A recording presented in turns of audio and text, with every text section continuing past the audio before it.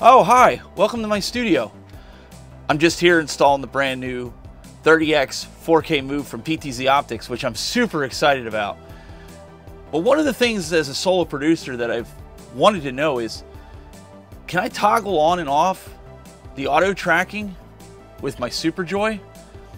As a solo producer, it's really hard to press all these additional buttons on different devices, like when I could do it right all in front of me. I got an answer for you. Can you keep a secret? You can. And I'm going to show you how to do it right after this.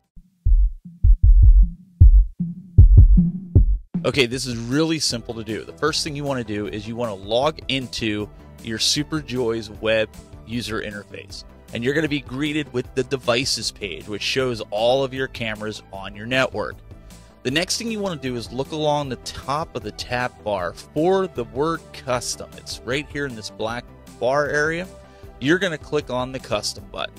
Once you're in the custom area, you're going to see custom 1 through 4 down the side, and you can even do custom add. Here you want to select the different types of triggers. We have a ton of different types of triggers that you can choose from. Super presets, UDP, TCP, UART, or HTTP. For this tutorial, we're going to use HTTP trigger. Now you can see I've already added the tracking on and the tracking off commands inside of the string, and I've also enabled toggle. And the reason for that is I wanted the ability so when I press the button, it turns the tracking on but when I'm done, I press the button again and it turns it off rather than taking up any additional custom buttons. Because if you have four cameras in your production, you need four custom buttons to enable and disable the move tracking. So if you look at my string, which you're going to see superimposed over the video, screenshot it, write it down. The only thing you're going to replace is my IP address that I have here. And at the end of the string, you're going to put on for the first one, so it toggles it on. And for the second one, you're going to change it to off. Same IP, same everything. You're going to click save and you're going to be ready to go. Let's go take a look.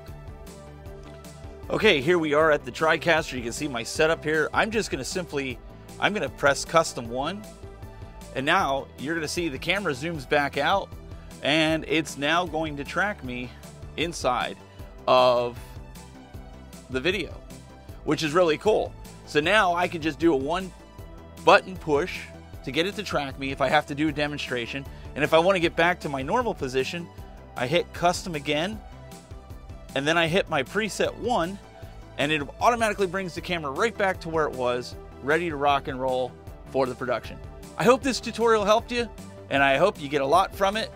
Make sure you hit that like button, hit the subscribe button for more cool videos from PTZ Optics.